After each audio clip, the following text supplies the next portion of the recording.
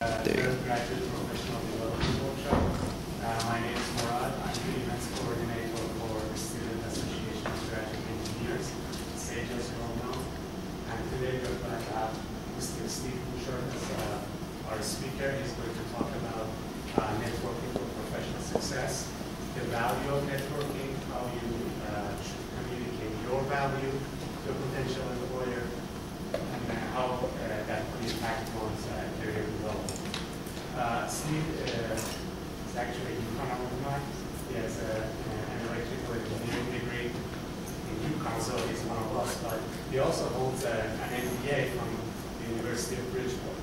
Uh, he has been in the electrical industry for over 10 years. Uh, he has worked in different roles from uh, sales to marketing, application engineering, um, product development, and uh, global sourcing. Uh, he's now running uh, the, uh, the SRP Consulting Group, doing uh, professional career services. He's also on the directors board of uh, National Association for uh, uh, Resume Writing. Was that or correct? National Association of Resume Writing. And he's also an active participant in the industrial associations such as the IEEE and ISMP. So please welcome our speaker.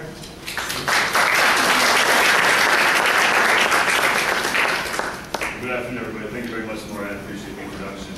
Um, I want to start by just making a general comment this is a seminar on networking, and the front row here is very empty. So next time, let's fill that front row up a little bit more. So who knows what this is? Can tell me what this is? It's a watch, right? But it's a special kind of watch. It's a gold Rolex. Anybody tell me what the significance of the gold Rolex is traditionally? Money, certainly. Expensive. Graduation. This has been traditionally something that companies would give people as recognition of their service as kind of retirement. Maybe some of your parents, maybe the baby boomer generation would go and they start working for a company right out of college, right out of trade school as an intern, et cetera. And they would work for that company for 30, 40 years.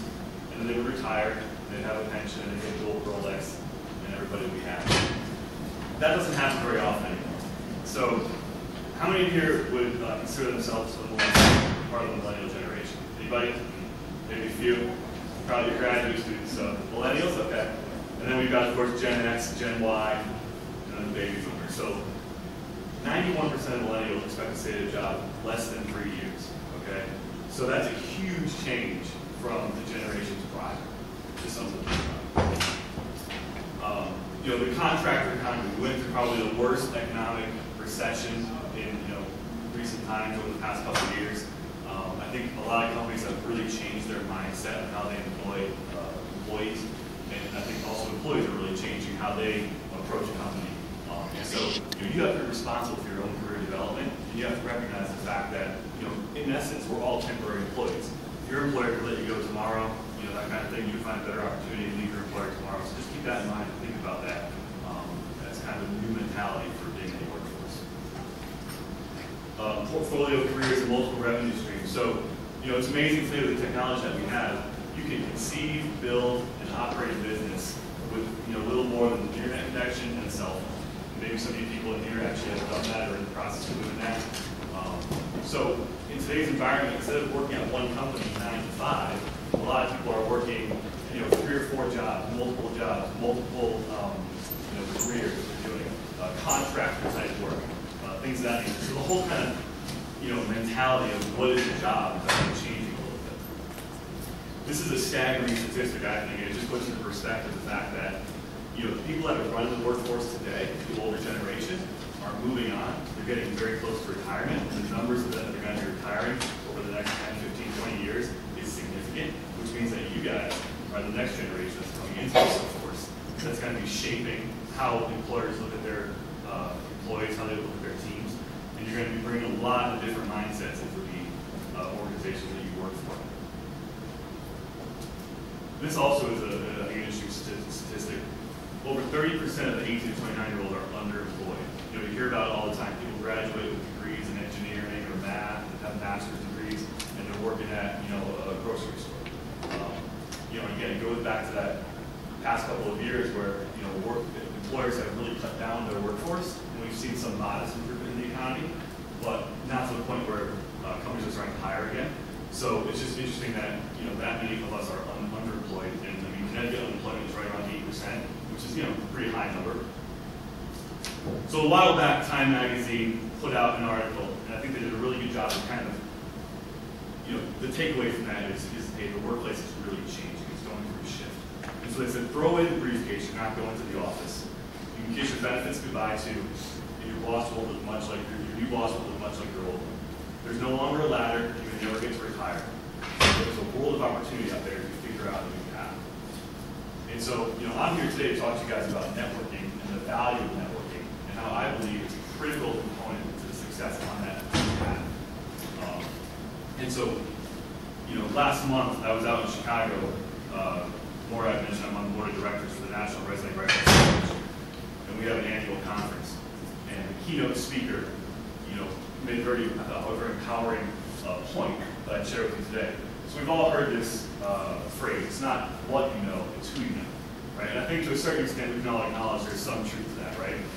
Um, well, he took it a step further. And he said, it's not only what you know that's important, certainly who you know is important, but in today's environment, it's actually who knows you, right? So who knows what you're good at and who's looking for you? You want to attract people to come to you to ask for your services, whatever area of expertise that is.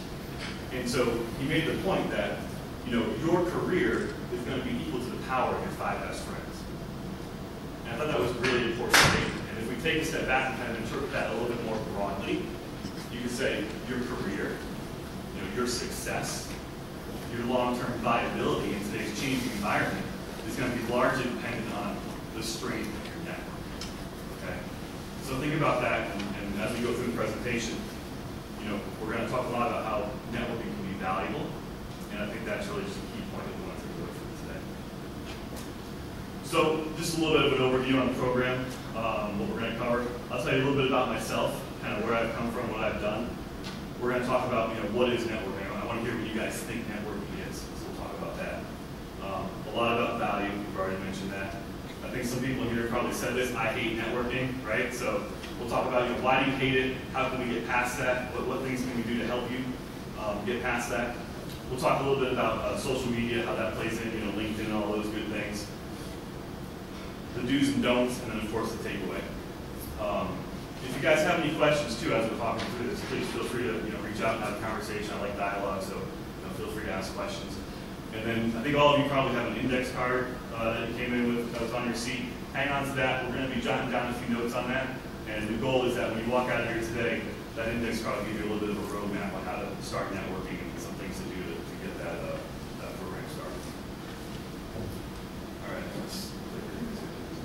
So a little bit about myself. Murad mentioned, I did my undergrad in electrical engineering here at UConn, so it's great to be back on campus. I think every time I come here, there's new buildings, and uh, it's a much nicer environment than when I was here. So enjoy it while you're here. I tell you, it's definitely the best time of your life. Um, after I graduated with an electrical engineering degree, I, you know, knew that I wanted to be more on the sales and marketing and business side of things. So I got uh, lucky enough to get a job in that kind of uh, environment, and ultimately made the decision to get uh, an MBA. So I've been in the electrical industry, which you know kind of makes sense based on my education, for over 10 years. Uh, I've done sales, application engineering, product marketing, development, and most recently, or currently, you know, working in global sourcing, more an operations kind of looked at what I had done in the past and what I wanted to do in the future, and for me, it's all about always gaining new skills and diversifying accounts. So I had wanted to get some exposure to operations. I had done sales, I had done engineering, I had done marketing. Next thing for me was operations. So when the opportunity came up through a networking initiative, um, I took it. Um, in addition to what I do full time, I also have a consulting business where I offer uh, professional resume writing and career services. Uh, as Murad mentioned, I'm on the board of directors for the National Resume Writers Association. I'm a professional resume writer, uh, and I enjoy doing that stuff because I enjoy you know, helping people succeed in their careers and watching them be successful. Uh, I'm also active in the IEEE, which I'm sure you know, many of you here are familiar with. Uh, I do some mentoring services through IEEE and studentmentor.org. And I'm also on the board of directors for another association, the Institute for Supply Management, which is a um, professional association for those that work in supply chain and logistics and things of that nature. Um, So how many electrical engineers do we have in the group here, just so I get a feel? I don't know. One, two, three, four. So what's everybody else? Mechanicals? Mechanical, I know you are. Computer science or okay. industrials or manufacturing engineers, anybody? So the company I work for uh, full-time is Hubbell Incorporated. We're a uh, 125-year-old company founded by Harvey Hubbell. Uh, the first patent that he had was actually on the pull chain socket, which you can see right up there, which is something that actually has still broad application and broad today, which is pretty amazing.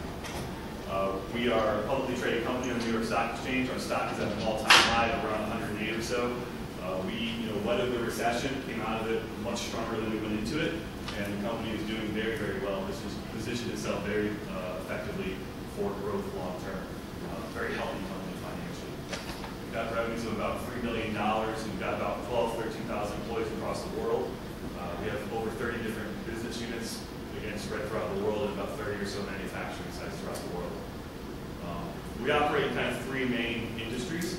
Uh, the power section of the business, which is higher voltage, transmission, distribution, utility type products, um, substations, things of that nature. Uh, the lighting platform, which makes all kinds of lighting products for commercial, residential, industrial, outdoor, stadium type lighting. Um, and then we have the electrical uh, platform, which is by far the broadest and most diverse segment of our business, and that's where I spend my time.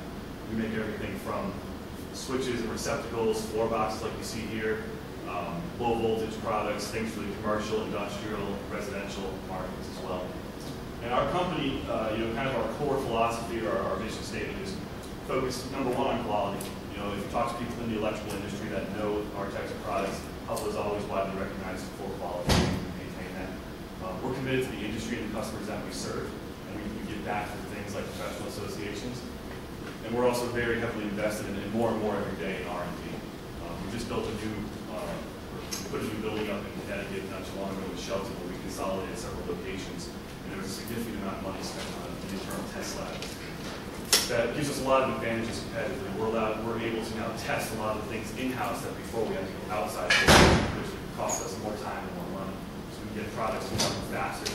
We invest in a lot of rapid prototyping. You guys have probably heard about 3D printing and SLA machines. We have several of those right now. So I mean, as a product manager, when I was doing that job, it was great because I could actually come up with a design with my engineering team. We could model it up in CAD, you know, shoot it down to the model shop, and the next day I can have a, have a real working model I can take out and show customers, say, what do you like about this, what don't you like about this? So technology has really changed the way we do business, I think it's changed the way everybody does business. Um, and it's a great company to work for, I enjoy being there. Um, what I do today for them is like, it's like global sourcing, so I travel, I spend a significant amount of my time traveling around domestically to our different business units, and then internationally to our supply base, and I try and match up, you know, what my business units need with suppliers that have the capability to deliver a quality product on time through a supply chain. Um, so I want to hear from you guys. Back to the heart of the presentation. You know, what is networking? Who can tell me what networking is? Nobody. Making connections, okay. Good. For what purpose? Or whatever your goal is. Whatever your goal is, might be, Um, and then professional, if you want to to find a job or you're trying to find another person to fill a job. right.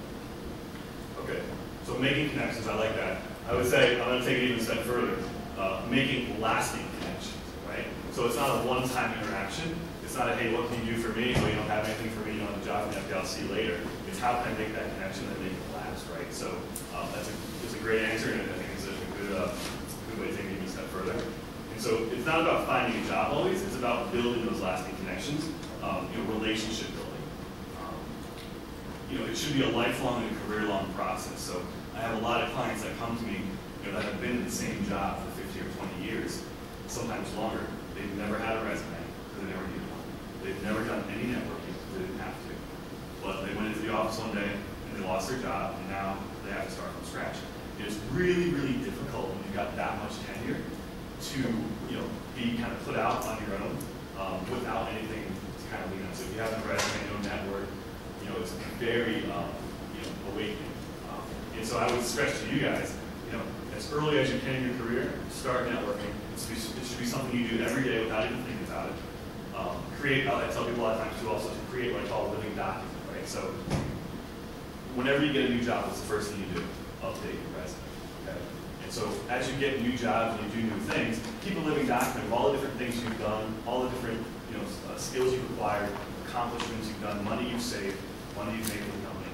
And it may be 20 or 30 pages long, but when it comes to the point where you have to make a resume, now you've got a ton of content to pull from, right? When I talk to people and I work with clients, a lot of times they don't remember what they did, and they can't quantify it. Um, and so having all that stuff that you build over time, you know, it's a lot easier to do it long term than just trying to cram you know, all that before. So we study for an exam, right? Um, so, and, and, you know, mutually beneficial is, is super important. You know, you have to be valuable to people in your network, or you're not going to get anything back from them. So always think about that. Think about, you know, your philosophy shift, and we're going to talk a lot about this today. Is, you know, how can I bring value to people in my network? Not always thinking about what can I get from the network. And if you think that way, things will just come to you. You don't have to work for it; they'll just come to you. It's amazing how that happens. All right. So the next slide. There's not a lot of electrical engineers in here, but I'm, I'm sure somebody's going to be able to tell me what this equation is. Right? Even even the non-electrical people probably know this one. So who's got the answer for me? voltages pairing and resistance. Right. So what's the name? Do you remember the name of it? The equation? Ohm's law. Right. Okay. so like he's got to be a trick. This is too easy. Okay. That's Ohm's law.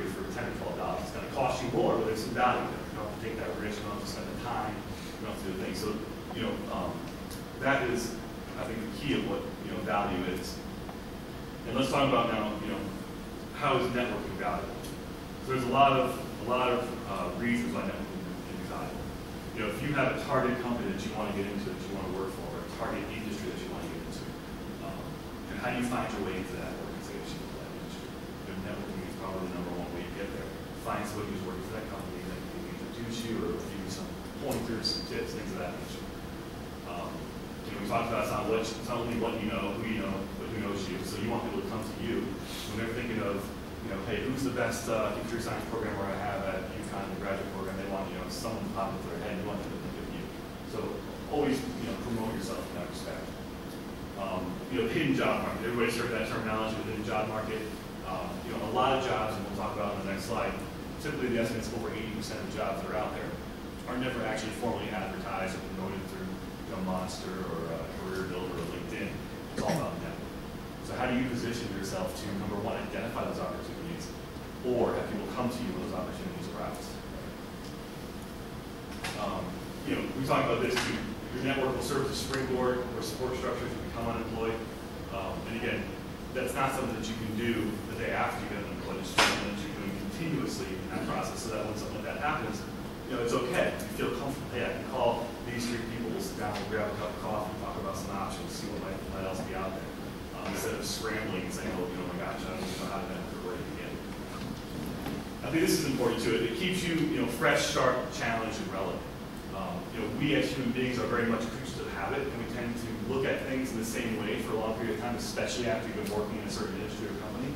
Um, have kind of a lens that you see it's important to, you know, mix with other people, um, you know, other types of engineers, or even people in business, people in marketing, people in finance or accounting, to get different perspectives. Um, you know, we do that a lot in our company. We'll bring people together cross-functionally, and you know, you just have somebody else in the accounting department look at a problem, and they may throw a really crazy idea on the table, but you know what? It's valuable information. It's worth looking into. Something that maybe I would never thought of coming from the marketing or engineering side. Um, the same thing happens. We actually bring in suppliers and customers and have them sometimes at our problems, and they'll, you know, have some knowledge on some new technology that's coming down the road that we can deploy, things like that. So I think you know, diversifying who you are, uh, who you surround yourself with, is extremely important as well. This I read in an article recently. You know, it was, it was a comment that came out of an article I think on LinkedIn. You know, everyone's responsible for business development. You know, what does that mean? It means that in today's environment, again, the way companies do business is changing significantly. Just because you guys are engineers doesn't mean you can't talk to customers, or you should know exactly what your company's you know, core competencies are and what their strategies are long term. You should be able to articulate those things. You should be able to understand what the customer's needs are, so you can incorporate that into the products or services or software programs that you're designing. Um, and that's, again, the way businesses work today. There's a lot of cross-functional engagement. So, you know, we'll put together a team of engineers, team of, you know, marketing guys, sales guys, designers, and they'll all work together, kind of in real time, and manufacturing, to try and develop the best product that meets all the different needs. Has what the customer's looking for, price competitive, you can actually make it, because I can't tell you the number of times, you know, we've had engineering come through and design a product that then you kick over to the manufacturing guys, and there's no way they can make it cost competitive, right? Um, you, you know, you can always get things fast, cheap, or good, but you can only get two of those, right? So you can't get all three. It's always a matter of which two you, decide to go with. Um, it can be a path to success. You know, there's a lot of opportunities that will come to you through networking if you have a strong network. And you know, believe it or not, it actually can be a lot of fun sometimes. So hidden job market, you know, we talked about that. You know, a lot of the estimates are in the 80 plus range as far as the percentage of jobs that are in the hidden job market that you'll never see advertised. Um, so you look at this, you know, what's the first way a company looks to fill a position? You know, step number one, internal move. Do we have somebody that we from? That, always makes a lot of sense because the company wants to invest in their own talent. They want to promote people, they want to give them growth opportunity. Um, so that's usually the first step. Not always an option. Maybe they don't have the right skill set. Maybe they don't have someone to backfill the position that person's in. Maybe they just want to get a different perspective from somebody outside the industry or from a different function. They want to bring somebody in to shake things up and do some change. Um, so then they're going to go to network. Hey, do you know anybody who would be good for this role, right? Because, you know, as a hiring manager or a recruiter, if you can get somebody through a recommendation or a referral, it's always so much more valuable because you're having somebody else kind of vet that this person is good for the position, so it takes some of the stress and strain and responsibility off yourself. Um, so, so recruiters and hiring managers love to get referrals. Um, you know, and then of course you have the kind of traditional, yeah, I'm going to send my resume out to recruiters, um, to headhunters, let them, you know, look at it and see uh, what positions might be available. And another thing to keep in mind when you're talking about, um, you know, headhunters or, or uh, recruiters, things of that nature, you know, those guys don't work for you, the job seeker. They work for the company. So their job isn't to find you a job. Their job is to find the company the right candidate. They're the one paying the bill. So, you know, don't think headhunters are working for you. They're not. Um, they're not out there trying to find a job for Steve Bouchard. They're out there trying to fill this position. If I'm not the right fit, I'm out of their head as fast as I got into it. They're on to the next candidate. Okay, so a lot of people will get frustrated and say, hey, you know, why is this recruiter calling me back? And I send my resume, I have a great resume, and I'm a great fit. If you're not, you know, exactly what they're looking for, they're on to the next thing. So only spend so much time doing it as you, as you have to. And of course, job postings. I mean, you can search Monster, Career Builder, LinkedIn, all those things. Um, you know, I'm not saying that those aren't important, but I'm saying you've got to work across all those different uh, uh, actions, all those different steps there, and you look at where your where the most return on your time investment is. You know, the networking portion, right alone, 45 percent. You know, in that neighborhood. So that's the best return on your time investment. And then you know, spend time doing resume and job postings, but make sure you understand where your time is going and what the potential return is on that investment. So does this make sense to everybody? To get value from your network, you've got to be valuable to your network, right? So, you know, think about what you can give other people first uh, before you think about what they can give to you. Good question? with what the previous slide, I was actually wondering if that chart applies to any type of job, because like, I don't know, let's say for faculty research, I wouldn't see networking, uh, much, right? I mean, so different types of jobs. Yeah, sure. I mean, th- this is, this is general, right? So for different industries, different skill sets, you know, if you're looking for a PhD research candidate, they're gonna rely very heavily on your, your kind of your background, your academic skills, right? But, uh, networking always comes into it. So even for a faculty position, you know, the head of the faculty department for the engineering may know that, hey, next semester we're offering three new courses. And we have to find some professors to fill those roles. But they haven't printed the course catalog yet, they haven't gotten around to posting a job description. So if you're in there talking to the faculty director or the, the dean on a regular basis because you want to try and network, he may, you know, he may say to you, oh, you know, hey, we've got this new course coming up next semester, would you be interested? Or you could ask, are there any new courses or opportunities for me to, adjunct lecture, things like that. So I think it's still important, and, if nothing else, even if it goes through the traditional resume round, you're in front of that, you're kind of in front of that whole curve, right? So if they're already thinking of you, um, you know, you put yourself in a better position, I think. And actually, I have one other question about this. So, is networking all about making friends or professional relationships, right? Because maybe someone's looking for like, uh, you know, they're pushing a position, and uh, you know, often happens that they uh, spread out the benefits among their friends. So they have problems with what they So let's, let's like, let's take that word friend and let's just replace it with network or relationships, right? So just because you are networked to somebody or you know somebody doesn't necessarily mean you have to be their friend, right? It's a relationship that you've got, whether it's professional, whether it's personal. Um, and so I think we want to try and get away from that perception that it's always about your friends.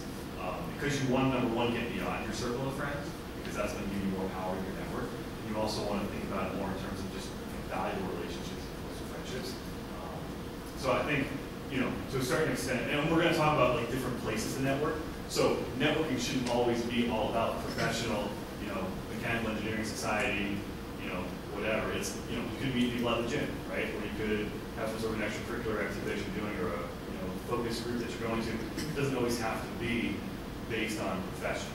Um, I think it's important that it's not based on professional all the time because you want to diversify. At the beginning of your presentation, you had this phrase that uh, your career is built upon uh, your five friends. Power of your friends. Yeah, I was just wondering what you mean by that. Well, that's why I said, if you take, if you kind of take a step back, right, and, and interpret that a little bit more broadly, I was saying the power of your career or the power of your success and long-term viability is, you know, broadly based on the strength of your network. So that's, so I'm kind of taking that friends and switching it to network. And then I agree, I think, you know, your network should be able to both professional, personal contacts, and it can be a lot of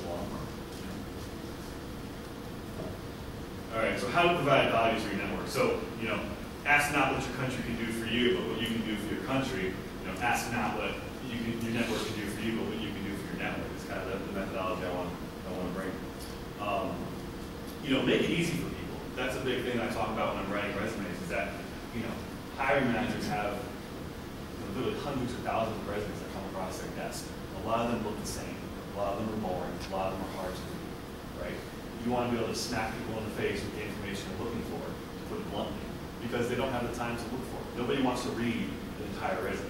They're probably looking at it on their cell phone while they're on the way to their next meeting or walking down the hall. You know, and that's the reality, it really is.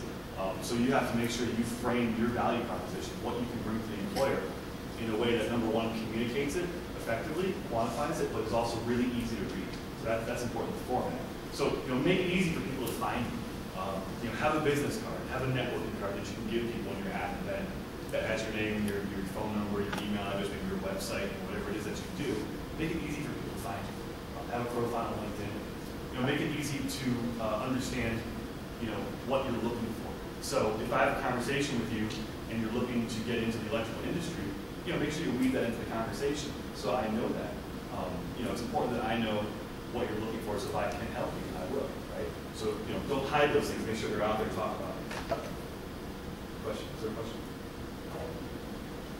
So graduate student, you know, really appreciate the conferences different uh. How would you make yourself valuable? So I think in that case, it's a lot about maybe, um, you know, research you're doing. You know, so if you're kind of focused in one area of research and you want to get more into that area or you've got some skills in that area, you know, talk about the work that you've done, the research that you've done, and how that may apply to someone else in their business. You know, maybe you have uh, knowledge of a certain process or something like that that you can bring to the table and talk about. Um, you know, it's all about conversation starts. That's what we're going to talk about uh, in the next couple slides. It's kind of how to get that dialogue going. Um, and then, you know, act like a matchmaker. Is kind of a, you know, um, pun or an industry term. You know, if I know somebody that can help, if I have two people in my network, right, and person A is looking for somebody who's an expert on some topic, who's person B, I want to connect those two people together, right? I want to be that matchmaker. To give an example, so you know, maybe a guy in my network, in my you know ISM network, is having a real problem manufacturing product. Tons of quality issues, just can't get off the line, et cetera. It's costing the company a bunch of money. Another guy in my network is you know a Six Sigma black belt expert on lean manufacturing. You know, I may say, hey, you should give you know Bob a call because he's a he's a Six Sigma black belt. He might be able to help you out. You know, try and connect those two people together. And when you do, you know, two great things can happen. Those guys connect with each other, um, and you know, maybe scenario A is they find out there's not a great fit, you can't help them. You know, okay, no big deal. But you've kind of introduced them and you've shown person A that you've got a valuable network of skilled people in it, and you can help them out in the future. They're going to come to you again looking for help, um, or they may return the favor and help you out in their network. The better scenario is that these two guys meet up. You know, uh, the company hires a consultant. He comes in, fixes their problem, saves them a bunch of money. The company's you know super happy because they fixed their problem. And the consultant is super happy because you got him a client. And now these two people are kind of you know in your uh, in your goodwill, and we'll certainly to return that favor down the road. You know, so, so connecting people together, although it may not have an immediate impact on you, down the road, that can always return you know tons of value. So keep that in mind. All right, so who would rather spend one hour at the dentist as opposed to spending one hour at a networking session? Sometimes I get a lot of hands to go up for that because you know a lot of people hate networking, right? So I want to hear from you guys. What are some of the things that you hate about networking? Raise your hand and just call it out. What, what do you hate about networking? I feel like it's awkward, it's strange to meet somebody like playing, like Right. never ever. Right. So it's it's awkward, right? What else? It's Sometimes uncomfortable. it's unfair, like there are two women candidates and one of them gets the job just because of networking, the other one is. So it can be unfair. Okay, so perhaps somebody who's a better qualified candidate didn't get the position because somebody who had a stronger network did, right? It's not what you know, but it's who you know, Yeah, who you know? right? But who knows you? So if you didn't get the job and you're a better qualified candidate, I would argue that that's your responsibility to make sure they know that you're a better qualified candidate, right? I'm not saying you specifically, I'm just saying in general, right? You have to promote yourself to make sure everyone understands what your qualifications are. How do you do that? Through talking to your network, through you know, having a strong resume, having a good LinkedIn profile, maybe other social media platforms. So what, what else? What else do you guys get about networking? They're faking it. Okay, so yeah, right, they're just, you know, you can tell they're not really listening to you. No, like other other people that are networking, like like people that you're competing so it's a competition. It's very, it feels salesy, kind of used car sales mentality, right? There's one over here. Uh, sometimes uh, companies post like job postings for like qualified candidate, but ultimately they end up taking someone they already know about. So basically they're wasting. Yeah, so sometimes, yeah, sometimes companies, uh, you know, have a job, and they know who they're gonna put in that job.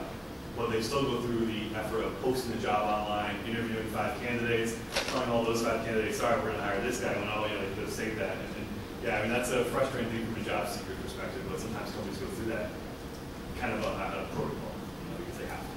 But that's the wastage of time for. It's a waste of your time, maybe, but, but is it really, right? So, okay, you, you put together your resume, so maybe you had a chance to update your resume, that's a good thing, right?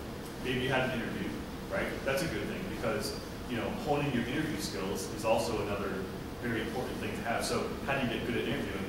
Do more interviews, so, you know, I make it a point, I interview two, three times a year, every year. It doesn't matter if I'm working for a job or not. Number one, it keeps me in touch with the market, right? And number two, it keeps my skills of interviewing uh, better.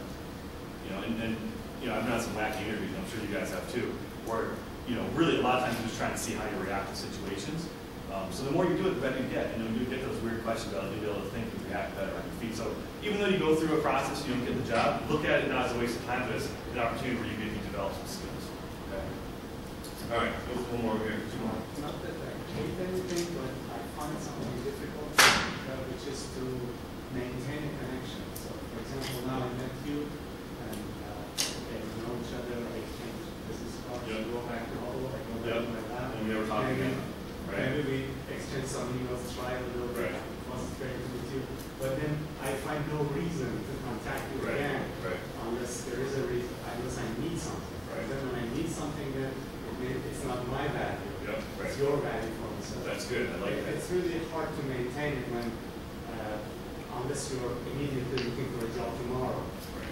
Uh, So it's, it's main- it's like that. maintaining those connections, making lasting connections, right? That's right. Yeah, And then being valuable to your network, uh, and being able to give things to your network instead of getting things from. And there was one more back there. Yeah, and I'm gonna touch on something that is a problem for me and probably a lot of people in this room, and that is the language barrier. Sure, sure. And, uh, so, I quite find it, uh, uh, kind of embarrassing. Yeah, no, that's good. That's good. I make mistakes, uh, and that's not that prevents you to Yep. go over and No, that's, that's a great, that's a great, uh, point to bring up, and I mean, the room, the room today is very diverse. Um, I actually do some volunteer work at University of Bridgeport where I got my MBA, and they have a, I don't know if anybody's familiar with the University of Bridgeport, but they have a significant, um, you know, population of students from other countries. You know, Majority of students come from other countries. And that was part of the reason I wanted to do my MBA there, was because I could go into a classroom and be immersed with people from countries I've never heard of, you know, and get exposed to some of that cultural difference. Um, and so a lot of the students that come through their uh, program have language barriers. Um, not only language barriers, but they show, they, you know, it's, it's a different market here than it is in the country where they came from. You know, the way you get a job is different. Um, and so their career services department uh, puts a lot of emphasis on trying to help people kind of navigate through that and get familiar with it. And so I'll go in and you know work with them, and we'll do mock interviews. You know, so you have a safe environment to practice your interview skills. Um, and I'm sure you know UConn offers similar services for their career services department. Um, even your student associations, you know, things of that nature. But again, it's kind of, you know, the more you practice, the better you'll get at it. You know, and one of the things that, you know, I always take heart, and one of my professors said to me, one of our classes that I always try to remember is, you know, do what you hate now, right? So do what you hate now. Don't put it off. Um, you know, if there's something that scares you or something that pushes you out of your comfort zone, just do it. Go and do it. And you know what? You might not be great the first time, but you you'll get better. So it feels awkward. We're one of those. Uh, Do you already, uh, hold that process? What's that? Hold that process? Cold, like cold approaches, um, like, Like, you know, th- you know there is someone, uh, who is owning that, I mean, you know, that's the, you know, you know, they're good, but, uh, they don't know you, just go to the uh. yeah, I mean, it depends on, it depends on the environment, you know, whether you're gonna meet them at a conference, whether you're gonna like literally go to the company's door and knock on it. Um, you know, there's certain ways to do things, I think, um, you know, it's always, you have to look at kind of you know. Um, People aren't like a huge fan of just walking in the front door and, you know, saying hello. Sometimes it can work, I mean, I was in sales for a long time, and I mean, part of my job was to walk in the front door and, you know, network my way into the organization, you know, and, uh, sometimes, you know, I would, I would set up five appointments and all five of them would bust and I have nothing. Um, but sometimes, you know, you start talking to the admin or the receptionist and, know, one thing leads to another, and you can kind of work your way in. And it may take three or four times, three or four follow-ups. Um, but that's what happens. I mean, I would sell, I used to sell critical power systems, so all kinds of, uh, products that would support data centers and medicals. Um, so we would call on engineers, um, and I would go in and I'd, I'd help engineers design systems. And a lot of the engineers, you know, I would, I would go in and I'd, I'd call on them and give presentations and read the literature, and then, you know, I may not get anything for six months, a year. But then when they had that big project, you know, they'd open that binder, there would be my business card, they'd call me in. You know, so sometimes it's not immediate, um, but, you know, again, it's just persi- that's where persistence comes in. You know, if I'm, if I wasn't persistent in those roles, if I didn't keep calling on them every other month, even though they had no projects, you know, they probably wouldn't have thought of me when that project came around. You know, and I had cases like that where, you know, bigger, better manufacturers, better manufacturers would call the guy once, and then they never hear from him again. But me, was in there, you know, every couple weeks, being consistent, they'd give me the business because, you know, they thought me, and they knew I was there. So, uh, I forgot this. So, so who's been to a networking event in the last like year? Raise your hand. Okay, good. How about the last like six months? How about the last month? So you guys are pretty active. Um, all right. So a big part of it is you know knowing what to say, right? How to start that conversation. How to how to kind of make that cold call.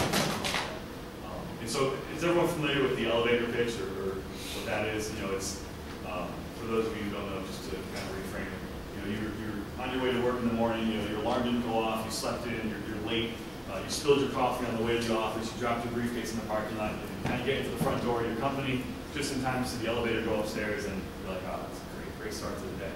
So you sit there kind of waiting for the elevator, finally comes back, you jump in, you hear somebody say, hey, hold the elevator. So you hold the door, and you know, in walks the CEO. Door's closed, you got 30 seconds to make a good impression, and what do you say? Right? You can sit there in dead, you know, awkward silence, you know, which is a lot of times what happens. Or you can take that 30 seconds and, you know, use it to promote your brand, you know, make a good impression on CEO, that sort of thing. So, you know, the elevator pitch is something that's been around for a long time. Or maybe you want to call it a branding statement, you know, whatever you're comfortable with. Um, but what I'd like to do is, is, first of all, does anybody have an elevator pitch they volunteer to deliver here to the audience? Anybody? Okay, so take your uh, uh, index cards. What I want you guys to do is just kind of draw a, uh, make a, make a quad, you know, make four quadrants, like this. And we're gonna start over here. And we're gonna say, you know, this is my, this is my elevator pitch, my branding statement. Um, and I like to say it kind of breaks down into, you know, kind of the who, the what, the why, and what I call the bridge. Okay?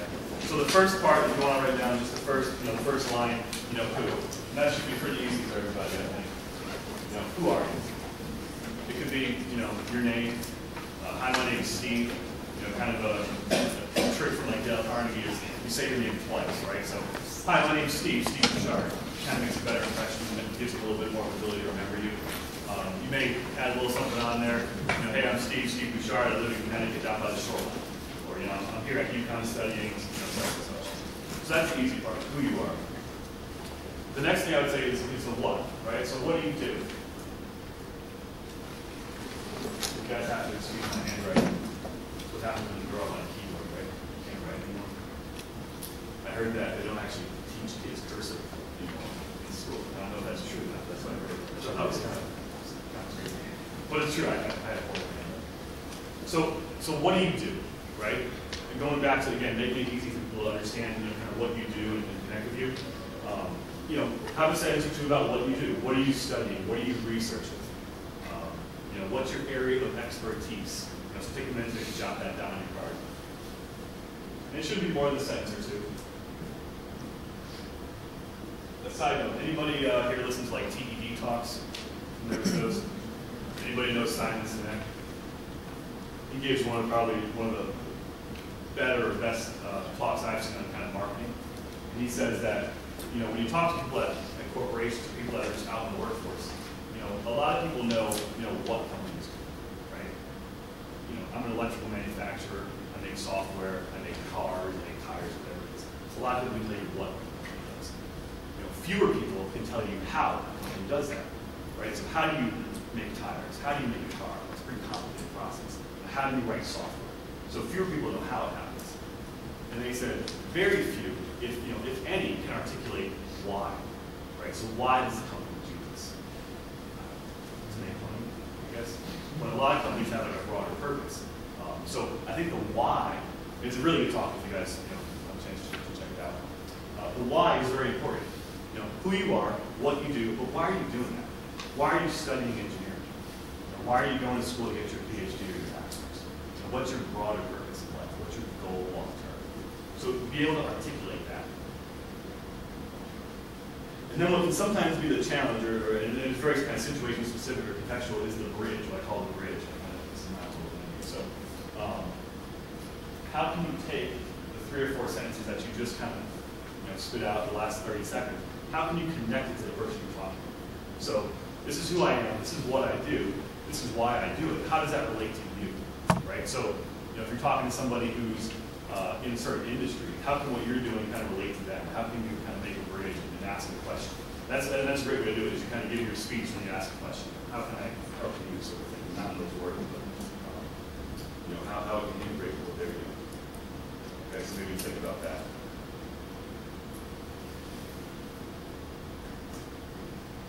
Uh, so, yeah, another thing came out of the, um, you know, try, try different events. I'll, I'll add two things. Try different events. You know, if you go to a couple networking events for the Mechanical Engineering Society and you're just not feeling it, doesn't feel right to you, you're not having fun, try something else. Maybe go and meet with the electrical engineering group, because we're typically a lot more fun. or, you know, try a totally different thing. Go and join the, you know, the outdoors club at UConn, uh, or go to the rec center. You know, try something else. If you're not having fun, try something different and find out where you have a good fit. And then, you know, because it shouldn't feel like you're forcing yourself. You should enjoy it. And then, you know, again, the thing that came out of our conference I was at in Chicago was, you know, it, it takes three seconds of courage and a smile. So you walk into that room, you're dreading it, and you say, oh, this feels awkward and salesy and everyone's fake. You know, get yourself pumped up, three seconds, walk up to somebody, smile, and boom, give that elevator speech. And, and then as soon as you do that, it gets so much easier because you've kind of gotten past that first barrier, and then from there, it'll be a little easier. Um, so you know, the great thing about networking is that people love talking about themselves. So if you ask the right questions, you know, you can let them do a lot of the work, is kind of nice, right? You can back and relax, take it down a notch. So uh, what would be some good, so, so the next quadrant I want you guys to make over here, number two, would be uh, a label of questions or conversation starters. Who, who has some good, good networking questions or conversation starters that they can volunteer here? What would be, how about the Red Sox? Oh my gosh. You're in pretty neutral territory here at UConn, but if you said that down where I live, it might be a problem. it would definitely get the conversation started. But no, that's good. Sports. I mean, sports is always, it's a lot of times something that you can you know, start a conversation on. Uh, it may go one way or the other, depending on you know, where the allegiance falls. But that's a good one. Sports. What else? The weather usually. The weather? Um, What what is it? What time is it? So we like to we like to ask open-ended questions because if you ask me what time it is, I'd say it's twelve fifty. Kind of running over time here. Um, but a lot of times, you, you know, if you ask a yes or no question, it's boom, you get a yes or no. If you ask what time is And it, then if you the. So what you could say, maybe- here or somewhere, Yeah. you can say, nice watch. There you go. I like, I like that better. Nice watch. Where did you get it? Perfect. That's good. I like that. That's actually really good. Um, and, that could, and who knows? Maybe the watch came from you know his uncle that lives in you know Europe and it was handmade. Who knows? It's a great story. So that, that's good. If you can if you can see something, yeah, something that's personal to the person. Maybe their their suit is real nice or their shirt, or shoes. That's a great one. I like that. What? It, it could be, but you know what? You're missing that thirty seconds. I would rather go with professional place. Well, you could. Depends, it depends a little bit on the environment, right? So, and who you're talking to, you know. But a lot of times people don't want to talk about work because that's what they do all day. And now, now it's six o'clock I'm at a networking meeting, and the last thing I want to do is talk about work.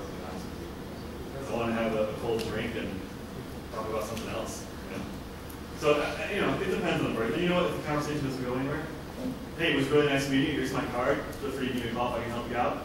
I'll see you later. You know, that kind of thing. And, that's another thing is being able to get that kind of exit out of the conversation because you know I've been at events before too, you know, you're talking to somebody, they just, you know, okay, great, we got them go up, and now they can stop talking. And I'm thinking, man, I want to meet some more people in this room. So, you know, how do you get yourself out of that conversation? Just again, real, real, real quick, hey, it was really great meeting you. Nice talking with you. Here's my card. If I can help you out, you know, let me know, and just move on to the next person. So you can get out of the situation if you're talking too much, maybe not talking at all. That's the way to do it. So here's, you know, jot down some questions on your card. Uh, some, some questions that you'd be comfortable asking in the networking session. Um, these are some other, you know, suggestions. All right, and then moving on to the next segment. We're going to label this where. We're going to kind of do a little dotted line here. Where and who. So we'll start with where. So where, you know, where can you guys network? Any ideas? Conferences everywhere. Any Good other answer.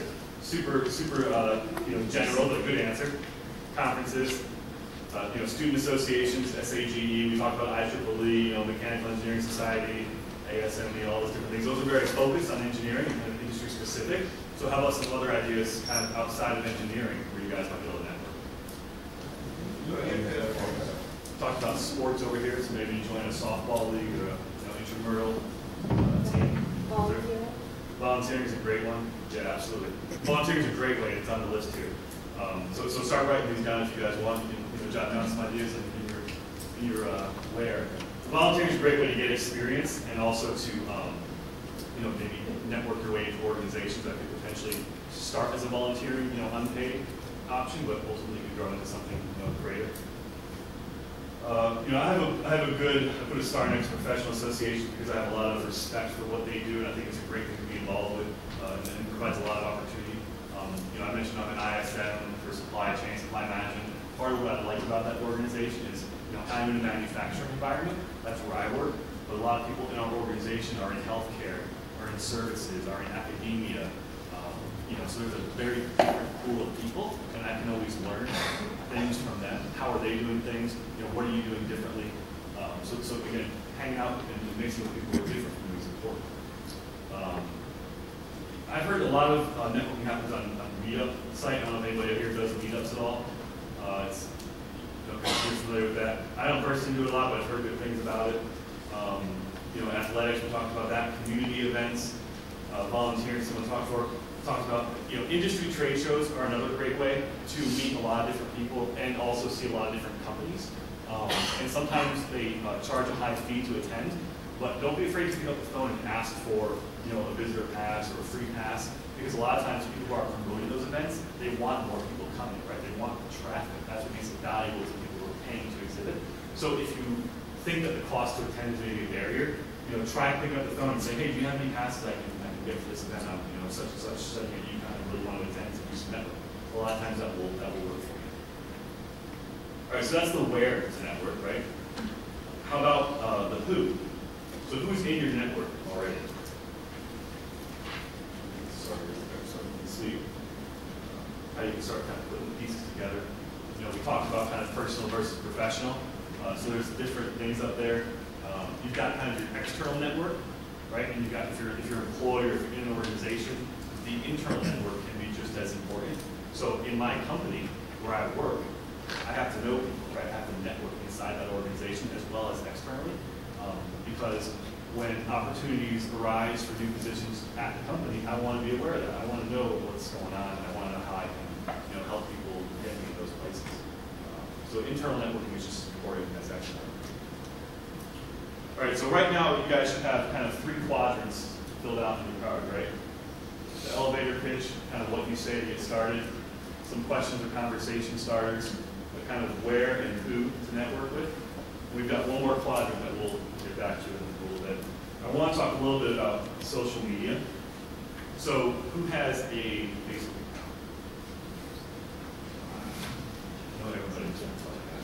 How about Twitter, Instagram, right? LinkedIn? Starting to fade off. Okay, now we got a lot of hands up. I don't, I don't know if anybody has seen this slide, but I thought it was kind of an easy way to look at well social media. All right, ready to do soon. It's kind of, you know, Twitter, I mean, the hashtag donut. You know, Facebook, I like donuts. Foursquare is all about like locations. This is where I get my donuts. Instagram, which is you know, the big thing. Everyone says the big thing with millennials is hey, here's a vintage photo of my donut. Uh, you know, YouTube, here I am eating my donut in real time. skills I, I enjoy. I'm good at eating donuts. You know, so it's just kind of funny that, and then there'll be, there's probably 10 more, 20 more that aren't on the list, and you know, a year from now there'll be 50 more that aren't on the list. Um, so it's a very interesting time when it comes to you know technology and social media because you, know, you guys have more access than anybody to information from all over the world, from, from people all over the world, and you have the ability to communicate information that you know to anybody around the globe. So it's an amazing time. Uh, but with that ability, I think also comes the kind of a good, a great responsibility that you have to understand the information you're downloading. You have to understand if it's reliable. You have to, you have to vet it, right? Because just because it's out on the internet doesn't mean it's real, right? So understanding the kind of the source of the information, whether or not it's reliable. And as far as things that you're putting out into the network, you know, do you want it associated with you and the brand you're creating? So I saw, I came across this also on LinkedIn. I thought it was great. It said before you put anything out there on social media, you know, number one, does this even have to be said? Number two, does it have to be said by me? Number three, does it have to be said by me now? Because recognize anything you guys do put out there, you know, through your Facebook, through your Twitter, is, you know, it's tied back to you. And, you know, you can bet that anytime you're going in for an interview, the guy behind the desk has already Googled your name, looked at your profiles, and just be aware that anything that's out there is out there. So I always tell people it's very important to, you know, manage your online presence. So how is uh, social media actually used in kind of recruiting and hiring? Here's some statistics from, you know, uh, a recent survey. 94% of, of uh, HR people say it's an essential practice. So they're always going to look at, uh, LinkedIn or, finding people through the online mediums. Um, you know, they use LinkedIn 93% of the time. So LinkedIn is by far, you know, the go-to source for kind of talent acquisition. Um, you know, the thing to take away from this slide is that social media, social recruiting has you know, increased the quality and also the quantity of the candidates that companies get to evaluate. So they're not looking at just people in Connecticut. They're looking at people you know, all over the country, perhaps all over the world, because they've got a budget for relocation, or maybe it's a virtual position. Maybe you don't need an office. The job I have today, I can work from anywhere in the world. All, all my teammates are scattered throughout the globe. As long as we have a cell phone and a laptop, we can do our job. So, um, you know, if you're not present on that social media spectrum, you may get overlooked. So make sure you have a presence out there, manage it, and make sure it's professional. And of course, you know, we talked earlier, referrals represent the highest quality source of candidates because you know that candidate's already been vetted by someone. Uh, recruiters like that, hiring managers like that. So going back to the, the donut slide, you know, there's a whole bunch of social media platforms, but really only one is professional. So you know, LinkedIn by far is the largest online professional networking site. As you guys probably know, it's founded by uh, Reid Hoffman back in 2003. Uh, recently went public on the New York Stock Exchange through an IPO, and currently has about 225 plus million members across 200 different countries and territories. So I think there's probably what 250 countries in the world. Almost every country is represented, and you know 225 million members. That number is growing fast. Um, so it's the place to be, right, for, for online networking. You know, we can talk honestly for hours about LinkedIn, uh, but we kind of only have time to the highlights.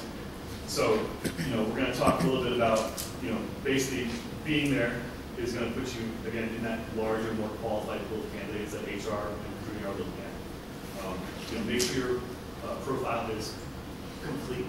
You know, have a photo, have more than just a general job description.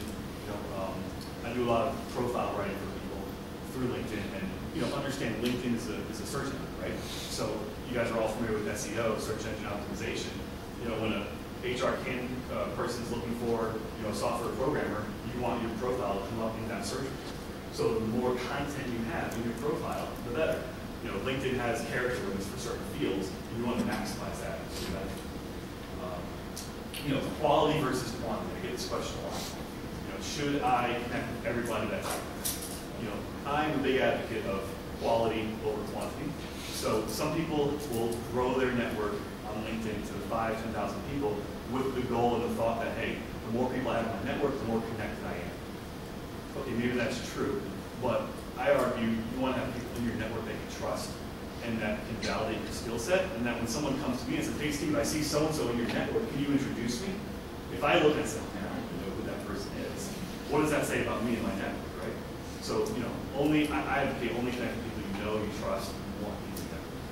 The other thing, you know, you guys all familiar with new skills in LinkedIn, how people can endorse you for skills, right? How many people have endorsements from people they either don't know, you know, never met, or they're endorsing you for a skill that you've never worked with, right? I mean, it happens a lot, right? So that's, that's a, it's a challenge because sometimes they're endorsing you for skills that maybe you don't want to associate with yourself, or you're not really an expert in, right? So how do you manage that?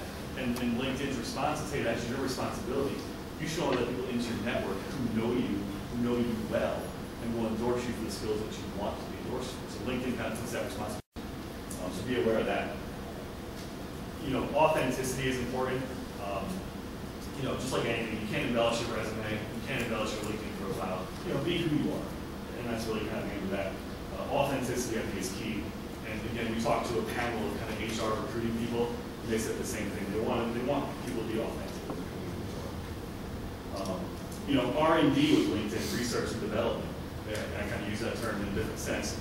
You know, you as a candidate or you as a person looking for a job, you have no excuse for ignorance. You should be able to walk into that interview, you know, know all about that company, what they do, what is their mission, what challenges are they facing. You should know about the industry because all that information is available to you through the internet, through LinkedIn. There's a ton of information there, so you know, use it to your advantage, leverage that. A caution is that you know, LinkedIn is not the only source of networking. So, you know, if you spend eight hours a day, 12 hours a day, kind of behind the computer screen, you know, networking on LinkedIn, you're connecting with tons of people, you know, that's great, but you gotta get out into the traditional You gotta meet people, you gotta shake hands. So, know, use LinkedIn as a tool, uh, but don't use it as your only source of networking. And kind of three takeaways on LinkedIn. You know, remember LinkedIn will change. You know, it's a software program. Software is always being improved. So it's dynamic, it's gonna change. They just recently rolled out a bunch of new features. Um, so, you know, me, who, who helps people with LinkedIn, have to get you know, up to date on those changes, and be able to communicate them and train people on them. Uh, but you as well have to be able to understand like how LinkedIn is changing. You know, make sure you back up your content regularly. You can export a PDF of your profile um, because certain things may change. Maybe your account gets locked out. You know, LinkedIn will lock you out and, and actually take away your access if you do things that violate their terms of uh, use. It doesn't happen a lot, but it can happen. So you know, make sure you prepare for that. Then you have to diversify. Like I said, you know, use LinkedIn, but don't only use it. Use that as kind of a, a tool in your kit. So, do's and don'ts. You know, you see some mistakes up here. Um, I think one of the probably the biggest mistakes in networking, even though a lot of times the purpose of networking is to find yourself a job, right? Is to actually ask for a job. It's, it's you know it's such a turnoff because it, it puts an onus of responsibility on me if you go and ask me for a job and it's awkward and it's weird. Um, I'll tell you a quick story. You know, I was at a career fair right here at UConn uh, not too long ago. And, you know, I must have met 60, 70 students that came up to me. And I only remember a few, maybe two or three. A lot of kids came up and said, hey, I've got an engineering degree, I'm looking for an internship, I've got a you know, marketing degree, I'm looking for a job, when can I start? The people that I, the people that I remember are the ones that came up and started a conversation, right? So they said, hey, I was at your website last night, and I noticed that you had a sustainability initiative with your company some of the things that I've done in sustainability are blah, blah, blah, blah, blah. You know, immediately in my head, I'm thinking, okay, this person has done some research, they're prepared, right? They've got some relevant experience that ties into my organization. And, immediately I'm thinking in my head, how can I connect this person with somebody at my company that runs our sustainability initiatives? So she didn't even ask me for a job, but already I'm thinking about it. And that's just how, that's how it kind of works. So think about that, you know, when you're out networking, don't ask for a job, but start the conversation. People remember that.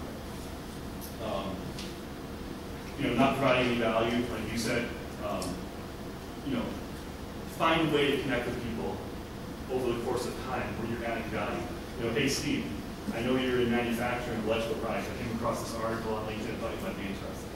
But maybe it's relevant to what I'm doing, so I can read it and I get something out of that. Plus, I, I just, you know, thought of more is. So that's a way to kind of reintroduce some values and connections. Um, you know, being too self-centered not showing gratitude. You know, always thank people for, for what they do for you. It goes a long way. I'm a big uh, believer in that. Um, not following up with losing touch. You know, your, your network becomes stale. We talk about only using LinkedIn or only using technology. You've got to diversify. Um, and, and, you know, don't wait to get in touch until you need something. You know, be in touch with people kind of constantly. Like you said, it's, it's a constant, you know, lifelong, career-long process. make it something you do without even really thinking about it. Um, we talked about, you know, sports sometimes can be a touchy topic depending on where people's allegiance lie, but also things to avoid, you know, political, religious, you know, overly personal topics, things of that nature. I mean, that's probably common sense for people.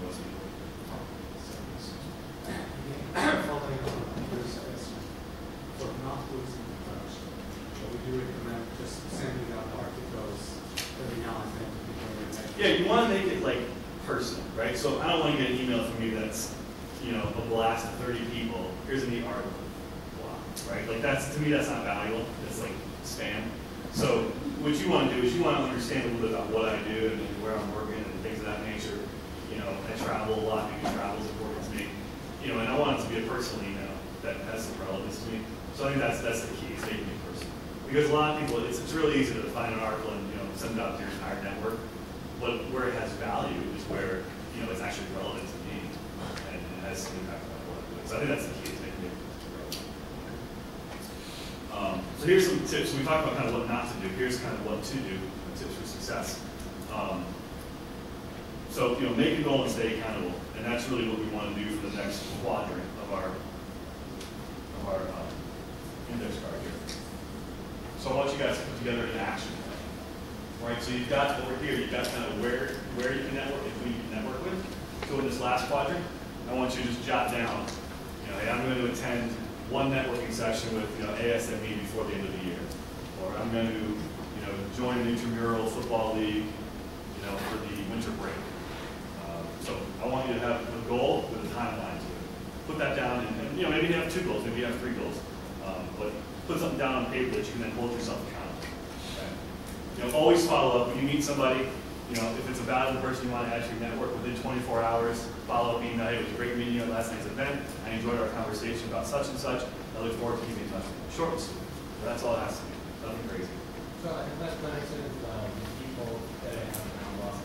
So I'm sorry. I'm sorry. I have that connection with some people that, I, that now I have lost. Is there any way to recover them like after Yeah. a year and a half? Yeah, I mean, send them a note. Send them a note and be, you know, be authentic, right? Say, hey, I haven't talked to you in a long time. I want to reconnect, see how you're doing, what you're up to these days, and just you know, start a conversation that way. Again, people love to talk about themselves, so you may get a big response back. This is what I've been doing. This is where I've been. You know, I would say yeah, absolutely. I do that a lot. I mean, that I, because I, you know, I go through, I use LinkedIn to go through my network and say, oh, I haven't talked to this person in quite some time. I should reach out to them. So I mean, that's a great way to do it. Is say, hey, we haven't talked in a long. I want to what you're up know what you're. Here, here's what I'm doing. A real brief look what you're up to. Um, you know, if you're going to go to a networking event, treat it like an important appointment, right? So put it on your calendar. Make it something that you can't skip. Treat it with respect. You know, get into a routine, make it a habit. If, you, if you're joining an organization maybe monthly meetings, et cetera, you know, make it a habit, go to them regularly. People will get to, recognize you, then be familiar with you. If you don't want to go by yourself, find, find a friend to go with you. go as a group. That, that always takes some of the pressure off. And, and going back to kind of, you know, don't ask for a job, another great way, and this is kind of for established relationships with people that you know well, is to ask for a recommendation. So say I lost my job today, you know, I might be at a networking event and say, hey, you know, I'm going to be applying to some engineering job down the road. Would you mind if I use you as a reference? Because then you're not putting the person into an awkward position of, you know, finding a job. Um, but now they know you're looking, or at least you're open to opportunities. They don't even know that I lost my job. They just know that I'm looking, right? So if they come across an opportunity, they may, hey, hey Steve, you know, I heard you, I remember you said you were applying for some jobs. You might be interested in looking. So that's a great way to kind of, you know, inadvertently ask for a uh, recommendation. So anybody familiar with Tom Friedman or read the book World is Flat? Okay, good. So he's, he's a real uh, respected authority on kind of globalization. And I wanted to end today with just a quick three-minute video from Tom Friedman and then just a few takeaways. Um, so we're just about done here. Uh, he talks a lot in this little clip, just, just real quick, a couple minutes, about you know how the economy is changing and how you know because of all the technology that we have, you know the bar has been raised a lot higher, and what used to be considered and accepted as average in the past is really no longer even applicable because average is over. You know the bar is higher now. So if you are average, you're going to become obsolete.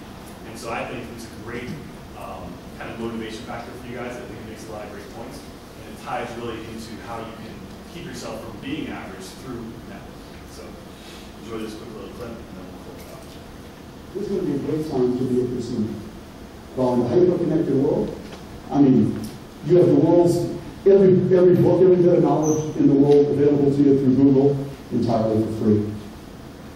Twitter gives everybody a free megaphone and publishing platform for free. Amazon.com, you can now actually not only get anything from a buzzsaw to, um, to a book at the best price in the world, but if you want to become an author now, you don't have to go through my publisher, Farrar Straus, and send them a hundred different letters to beg them to look at your manuscript. You can go now through Kindle Publishing and your own, publish your own work for free. What a great time to be a consumer. It would be a great time to be an individual entrepreneur. Fantastic. If you just have a spark of an idea, now if I just have a spark of an idea, I'm going to Delta in Taiwan and they'll design for me. Skip over to Hangzhou, my friend Jack Ma, Alibaba will line up 30 Chinese manufacturers to make this for me. Jump back over to Seattle, my pal Jeff Bezos, who will do my fulfillment and delivery and gift wrap it for Walter for Christmas. Craigslist will give me an accountant, and on freelancer.com I can get somebody to do my logo for $19.95 unless somebody else bids $18.95. I mean, great time to be an entrepreneur if you've got this. My view is there's no more developed in developing countries. That's so round world. The world's going to be divided between HIEs and LIEs. High imagination enabling countries and low imagination enabling countries. Countries that enable this are going to thrive. And countries that don't are going to fall farther and faster behind. Going to be a great time to be number one in your field. If you are J.K. Rowling or Michael Jordan, wow. In a world where you can now access every individual market, the returns, the winner take all returns are going to be fantastic. Not going to be a good time to be number two in your field. And it's certainly not going to be a good time, and this is one of my central points, to be average. Because in the hyper-connected world, average is officially over. Your boss today, he or she has cheaper, cheaper, easier, faster access to more above average automation, above average software, above average robotics, above average cheap labor, and above average cheap payments. Average is officially over. They don't say in Texas, all you have to do is all you ever done, all you have to do is all you ever got. That is NA no longer applicable. All you ever do is all you ever done, all you'll ever get is not all you ever got. You will get below average and much faster. Right, so I hope that inspires you guys to take action, you know, network. Um, and if you want to flip your index card over and maybe jot down these kind of three takeaways that I got off of uh, one of the LinkedIn. Number one, we talked about this a lot today, meet new people uh, in your area of interest every month or significantly deepen an existing relationship. So take action on your part to meet new people on a continuous basis or find a way to deepen an existing relationship. Uh, number two, you know, do something nice for someone in my network every week. And if you have, you do that, you know, you'll be sure that then your becomes stale, your network becomes stale because you're going to continuously doing things for people. And again, when you're when you're focused on helping your network, the value for your network you trying. And then lastly, and I think this is one of my favorites, is you know, spend time with people who are different than yourself. So get out of the engineering climate and network with other people, in addition to your colleagues that are in the engineering field, because that's super important to diversify, especially in today's environment. And I would maybe add to that, you know, be authentic and be consistent. So you know, be authentic, determine who you are, what's your brand, and then be consistent in promoting that brand uh, across whatever platforms you choose, whether it's in-person networking, online, LinkedIn, Twitter, et cetera. And just be consistent with that brand and that message. So I hope you guys uh, enjoyed the presentation today, and I hope that, that uh, index card kind of gives you a roadmap on how to get started. Um, I believe we have some lunch in the back, if anybody has any questions, certainly feel free to ask. But I appreciate you guys' time, and thank you very much to uh, Sage for hosting the event.